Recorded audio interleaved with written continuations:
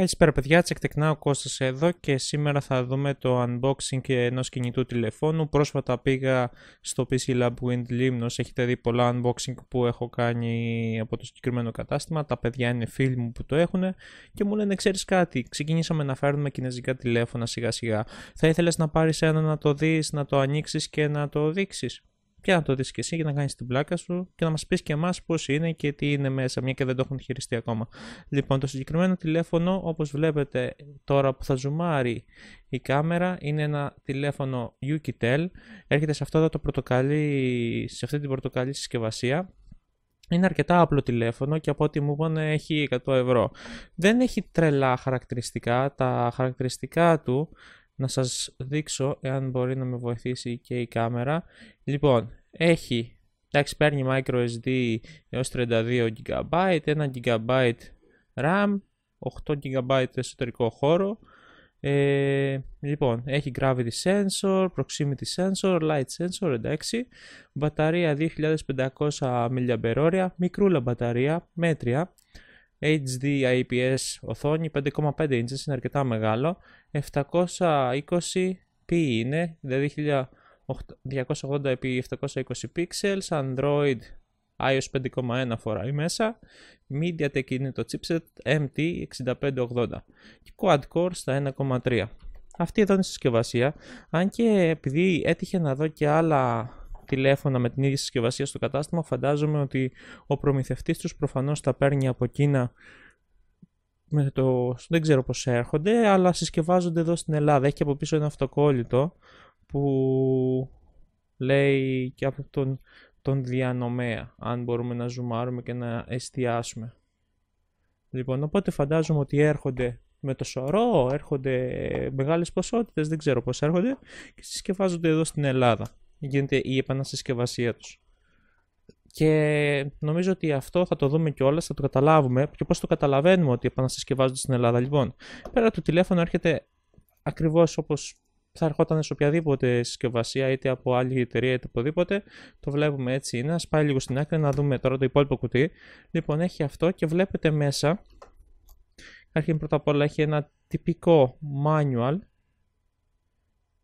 U7 είναι το μοντέλο Pro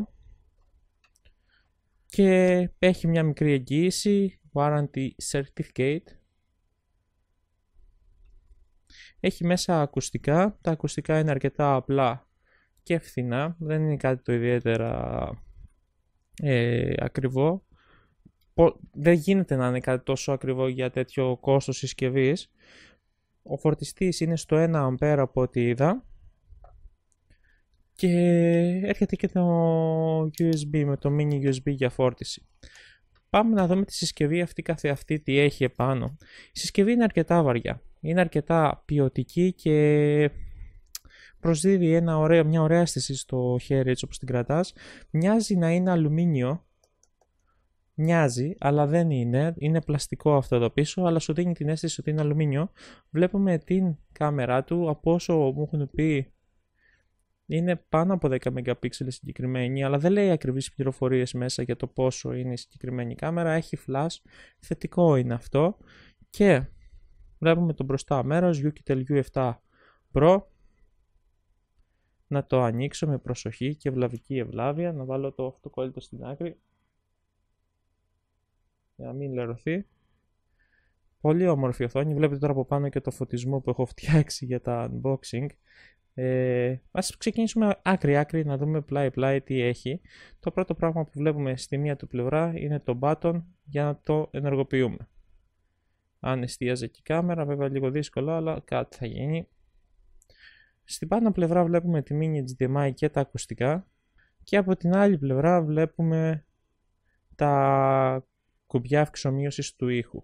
Από την κάτω πλευρά είναι και το ηχείο και το μικρόφωνο μαζί και δεν έχει κάτι ιδιαίτερο, έχει και μπροστά κάμερα, τη βλέπουμε εδώ πέρα, αυτή εδώ πρέπει να είναι. Τα ηχεία, τα buttons, έχει φυσικά κουμπιά μπροστά, το οποίο το θεωρώ θετικό και πάμε να ανοίξουμε λίγο μέσα. Σκάν, κάνω λάθος, πρέπει να ανοίγει από εδώ.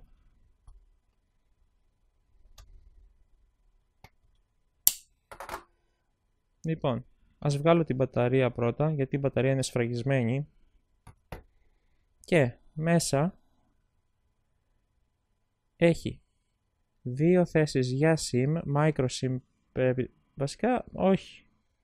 Παίρνει κανονικές SIM τώρα που το βλέπω, γιατί το μέγεθος είναι αρκετά μεγάλο και παίρνει και μια micro SD, δηλαδή άμα δείτε, τώρα εντάξει δεν μπορείτε να δείτε τη διαφορά, αλλά ας πούμε, ας βάλω το δάχτυλό μου δίπλα. Φαίνεται ότι παίρνει κανονικές ε, SIM μέσα, διπλή δύο SIM και την ε, microSD στο πλάι. Αυτό είναι ο, η κάμερα ο αισθητήρας. Η μπαταρία έρχεται σφραγισμένη. Ας την ανοίξω για να μπορέσουμε να τα ανοίξουμε κιόλας να δούμε τι λέει και αν αξίζει.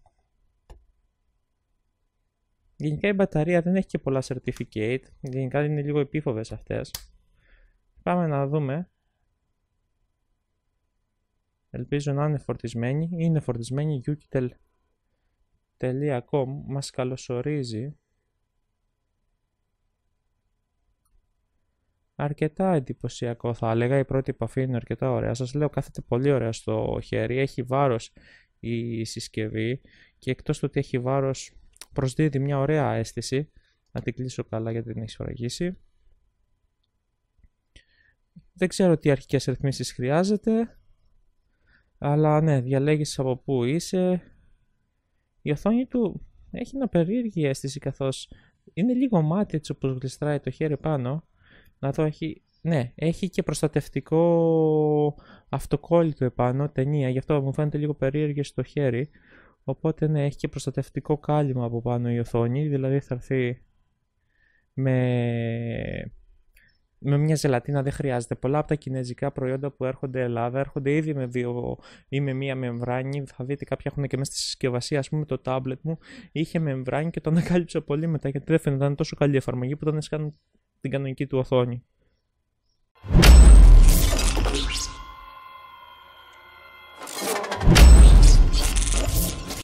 Λοιπόν, αυτό εδώ είναι το τηλέφωνο, μπήκε μέσα η συσκευή, Πολύ καλό φαίνεται. Λοιπόν, ας ξεκινήσουμε λίγο. Να συνδεθούμε πρώτα στο Wi-Fi. Α, συνδέθηκε επιτέλους, λέει. Ωραία. Γενικά ξέρετε ότι είμαι... χειρίζομαι Windows Phone πιο πολύ, οπότε με το Android δεν είναι και το στο φόρτε μου. Ε, ας ξεκινήσω από αυτό που με ενδιαφέρει πρώτα απ' όλα είναι η κάμερα. Να δούμε τι όμορφο. Βασικά φαίνεται, στην οθόνη φαίνεται πολύ καθαρή η κάμερα. Να σας δείξω, α, ας πούμε να βάλω να βγάλω αυτό φωτογραφία. Λοιπόν. Ή να βγάλω κάτι που έχει μια λεπτομέρεια. Θα βγάλω το Warcraft, το Warcraft, το Warhammer. Έχει και μπροστά, έχει και μπροστά, αλλά πώς τη φέρνω την μπροστά; Μ... Γυρίζω στις κάμερες προφανώς. Ω, γεια σας εγώ με αυτός. Φαίνομαι. Λοιπόν, η μπροστά δεν έχει τόσο. Εντάξει, είναι ωραία, ζεστά τα χρώματα. Να δούμε και τώρα λίγο στα γρήγορα. Αυτό που με ενδιαφέρει τώρα αυτή τη στιγμή που το κρατάω είναι εντάξει, ωραία κάμερα, είναι αυτό που θα ήθελα. Ε, τουλάχιστον φαίνεται αρκετά ποιοτικά. Βασικά σε τι γράφει η κάμερά του, μισό λεπτάκι να δούμε. Ναι, δεν έχει ανάλυση βίντεο όπως θα ήθελα. Ενώ να γράφει ακριβώς σε τι ανάλυση γράφει, οπότε φαντάζομαι ότι θα γράφει κατευθείαν στη μέγιστη. Έχει κάποια preset, υψηλή, χαμηλή, μέτρια και λεπτή. Και πάμε λίγο στα γρήγορα να μπούμε στο μενού του. όχι εδώ.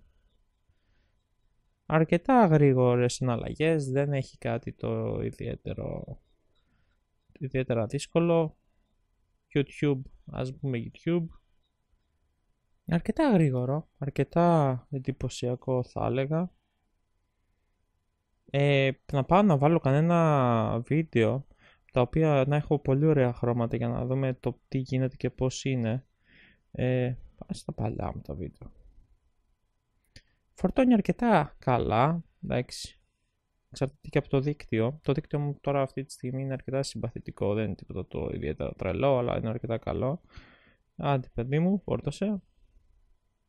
Θα έχουμε ένα θέμα να δούμε τα άλλα βίντεο.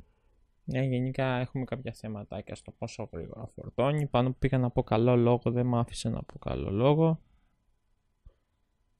Να βάλω λίγο Dota να δω. Θα βάλω μαζί ένα βίντεο που έχουμε κάνει με τον Evergamer, τον Δημήτρη Τοδούνα.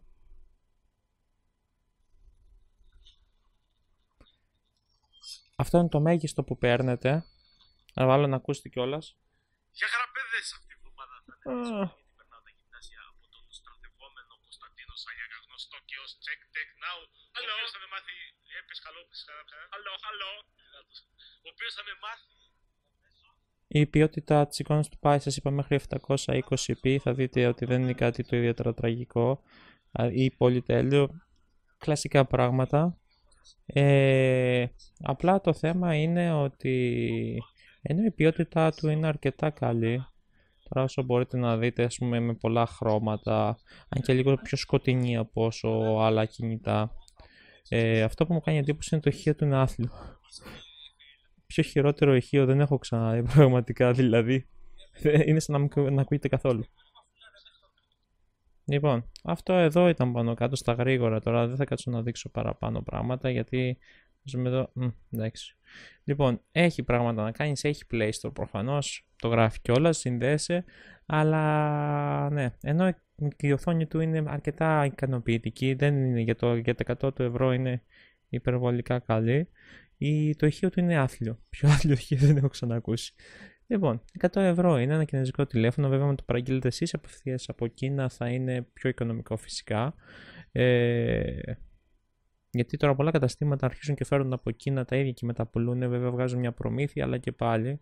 Τουλάχιστον ξέρεις ότι άμα το το πα, άμα χαλάσει οτιδήποτε, θα αναλάβουν αυτή την ταλαιπωρία όλοι για να φτιαχτεί και θα είναι το κεφάλι σου λίγο πιο ήσυχο. Ε, τώρα, αυτό ήταν μέτρο κινητό, απλό κινητό για το κόστος του. Καλό είναι, πιστεύω, μια χαρά είναι. Με καλά θα μου καθόταν στο χέρι.